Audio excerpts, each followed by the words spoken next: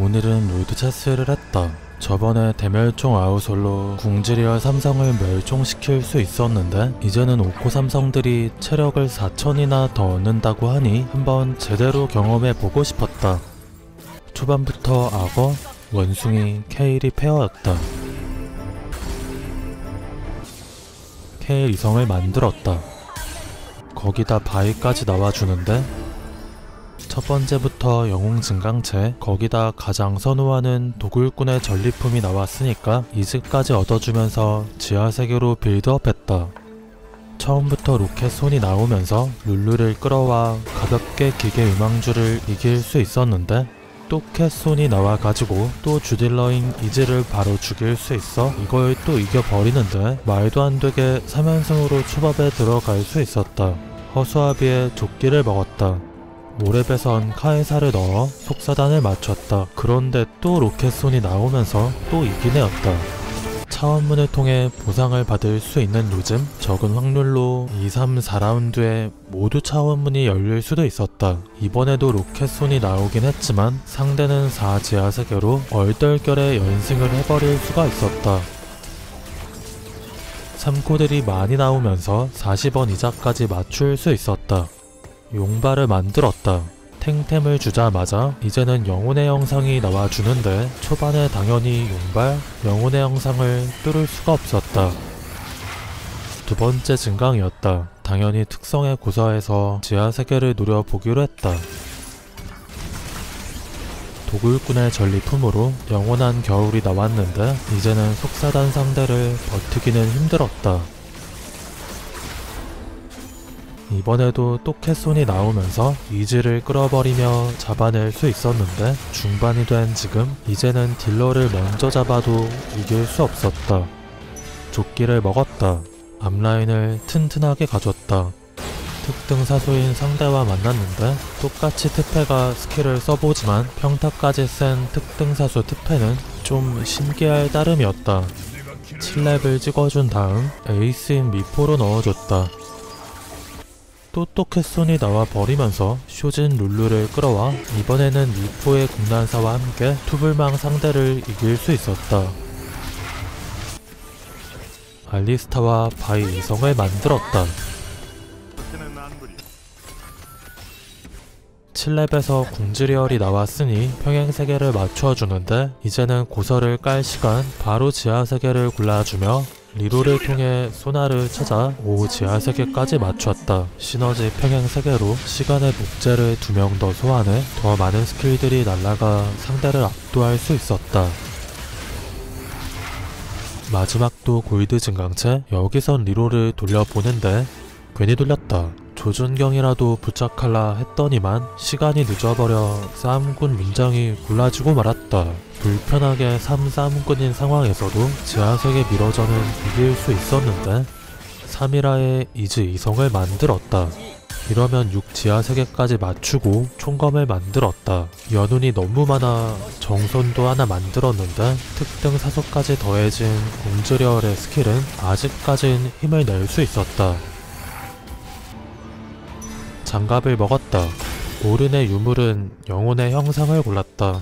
팔렙에서 리로를 돌려보는데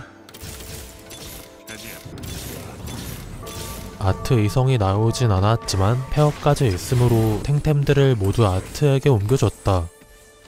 특등 사수인 상대에게 아직 궁지리얼이 없어 다행이었다.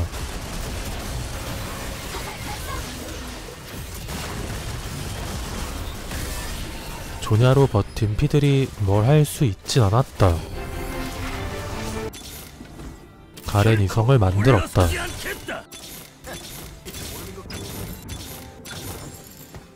아트 이성을 만들었다.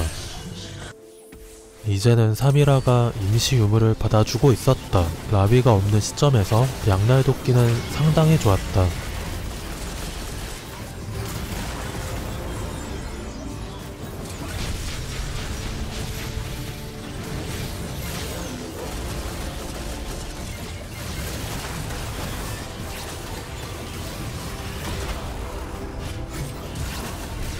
다른 애들은 다 뚫리는데 용발, 덤조, 영혼의 형상 아트는 쉽게 뚫릴 수가 없었다.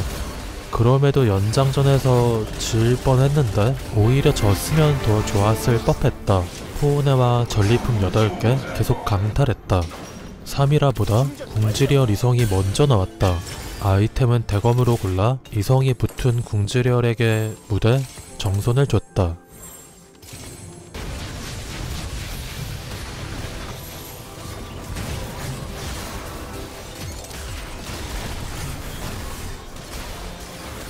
듭은 삼성이 뒤에서 프리드를 넣고 있다 보니 구인수 스택을 쌓으면서 말릴 수가 없는 지경이었다.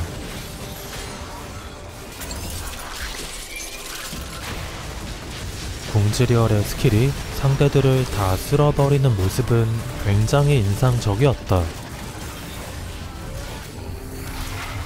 찬란한 용발에 도장 그리고 거결의 아이템 3개 계속 강탈했다. 초밥에선 거결을 먹었다. 이번에는 삼성이 많아 보이는 상대 이번에도 공지리얼의 스킬이 들어가자 상대 뒷라인들은 다 쓸려버리는 모습이었다. 못 이길 것 같았는데 돌이 혼자 있으니까 처형시켜버리며 잡아낼 수 있었다. 그런데 기계 음망주 상대는 누누 이성까지 얻으면서 굉장히 강하면서 단단했다.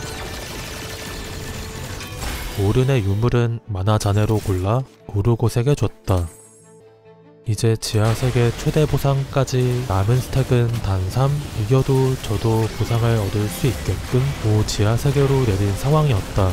클론으로 만나긴 했지만 5 특등 사수인 상대보다 우리 공지리얼이 스킬을 쓰면서 뒷라인들이 이번에도 다 쓸어버릴 수 있었다.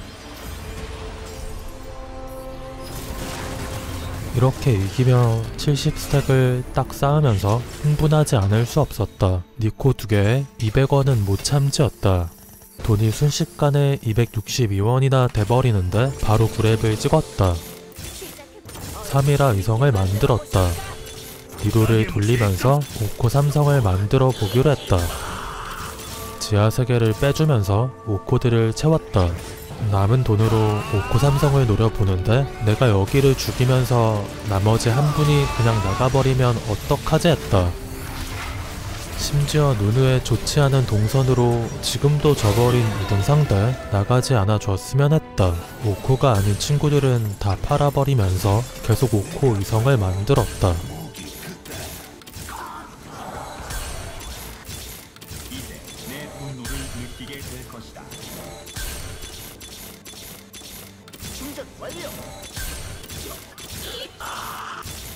생각보다 오코가 잘 안 나와주면서 머리가 복잡해졌다. 일단 탱템들은 레오나에게 줬다.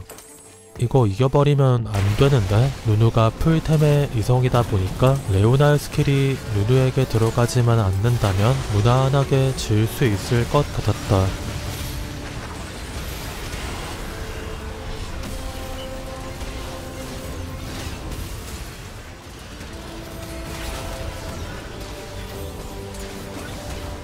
이러면 상대가 바로 나가지 않을 것 같은데였다.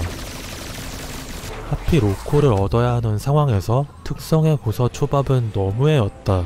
거결이라도 먹었다. 고서에선 메카로 골라주고 리로를 이어나갔다.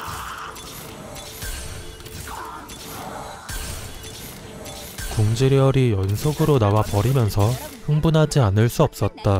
공지리얼 삼성을 만들었다. 확실히 저번에 내가 멸종시킨 공지리얼보다 바코드가 엄청 촘촘해 보였다.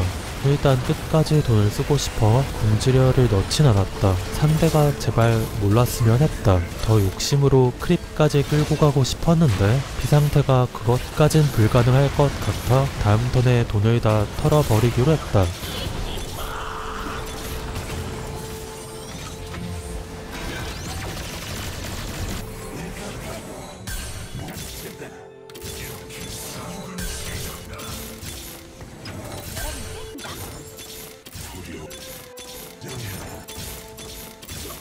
흥분하지 않을 수 없었다. 피들이 자연빵으로 나와주면서 피들 삼성을 만들었다. 니코 하나를 쓰며 모르고 삼성도 만들었다. 머리가 너무 복잡해서 어질어질했는데 잔나를 중간에 배제했던 것과 니코 하나 못 쓴 건 좀 아쉬웠지만 그래도 흥분흥분 흥분하지 않을 수 없는 것만으로도 충분하지 않을 수 없었다.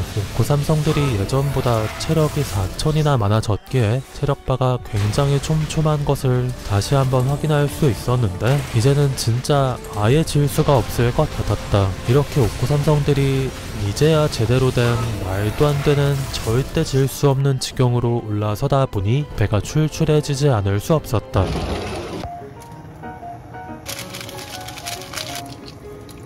너무 좋아요? 아니요. 별로 안 좋아하는데.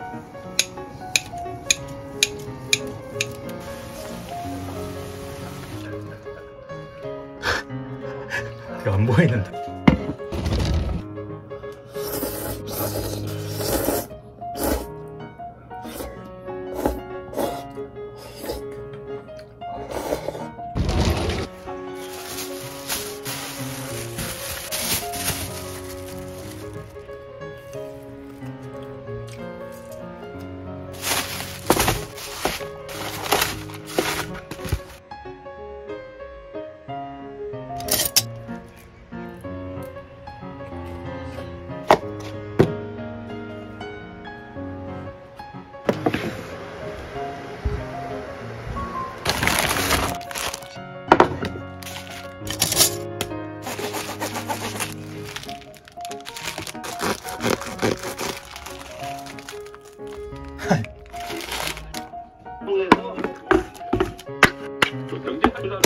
맛있게 했어요.